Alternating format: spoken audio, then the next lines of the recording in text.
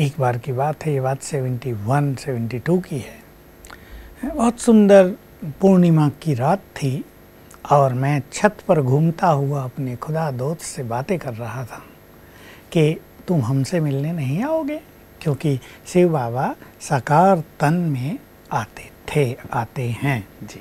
तो बहुत दिन हो गए थे योग अभ्यास के द्वारा तो मिलन होता ही था लेकिन मन बहुत आनंदित था और एक व्याकुलता थी कि अपने परम पिता से अपने खुदा दोस्त से साकार में प्रत्यक्ष मिलें। बुधवार की नाइट थी अगले दिन गुरुवार था और हमारे यहाँ गुरुवार के दिन भगवान को भोग लगाया जाता है। तो हमारी एक बहन जो ट्रांस मैसेंजर थी अभी वो नहीं है वो भोग लगाने के लिए ध्यान में गई है। ध्यान में जाने पर सामने वो बाबा को देखती हैं और मैं रात को बाबा को मैं बहुत देर तक जागा बारह एक बजे तक और घूमते फिरते मैं कह रहा था कि कल आप हमसे मिलने नहीं आओगे।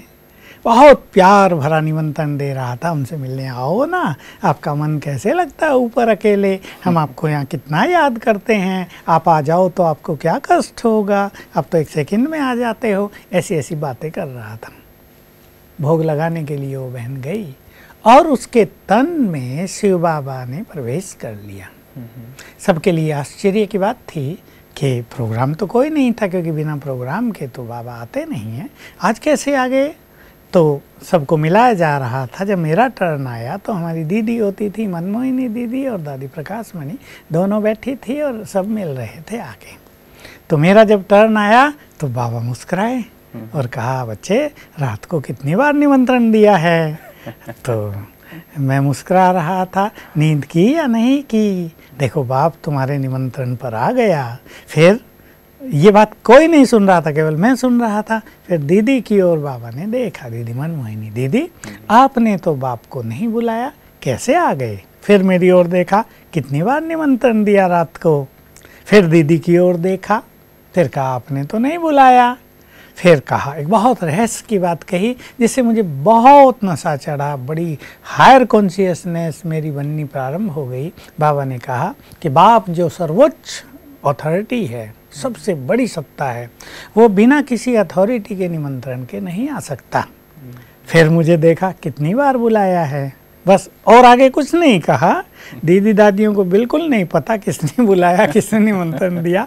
उनसे बाबा पूछ रहा आपने तो नहीं बुलाया। कैसे आए? यहाँ से मुझे बहुत ग्रेट अवेयरनेस हो गई। और मुझे लगा कि मेरा शिव बाबा से ब्रह्मा बाबा से बहुत गहरा नाता है। मेरे बुलाने पर वो आ जाएँगे। और तब से मैंने इस कॉन्फिडेंस के साथ अनेक बार बाबा को बुलाया। और सूक्ष्म रूप से भी अनुभव होता रहा कि वो आते हैं। एक सुंदर अनुभव और खुदा दोस्त का सुनाना चाहूँगा फिर आगे बढ़ेंगे। बात एट्टी टू की है। हमारा आश्रम बहुत छोटा था लेकिन एक प्रोग्राम था तो 2200 लोग आ गए। 2200 का हमारे यहाँ ना एकोमोडेशन था ना खाने पीने की व्यवस्था थी लेकिन खाने पीने का प्रबंध तो हमें करना ही होता था। चलो उनको सुला दिया इधर उधर सब जगह टेंट लगा के। 2200 लोग। गुरुवार का दिन था। हम भोग की तैयारी कर रहे थे और दो बजे सवेरे उठकर हम पाँच भाई होते थे किचन में। मैं जिम्मेदार था। उधर भोली दादी हमारी इंचार्ज हुआ करती थी। हमने भोग बनाया। सात बजे क्या होने लगा? मुझे बुखार होने लगा। शरीर बिल्कुल थकने लगा और फिर भोग लगा बाबा को। तो हम वहीं किचन में हमारी बोरियाँ पड़ी थी, बोरियों पे बैठ के ही योग लगा रहे थे।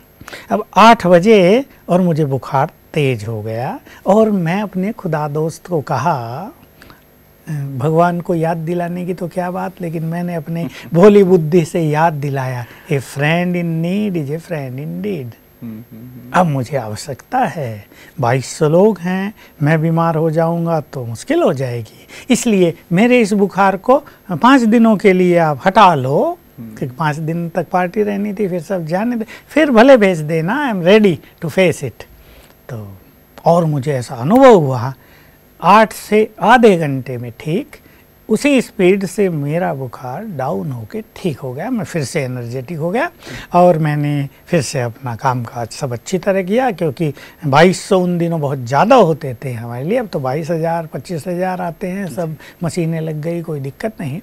तो काम किया लेकिन फिर पाँच दिन के बाद छठे दिन सेम टाइम मुझे फिर से बुखार होने लगा। पार्टी जा चुकी थी मैंने कहा मैं छुट्टी ले सकता हूँ। और इस तरह मैंने फिर रेस्ट किया वो सब ठीक हुआ।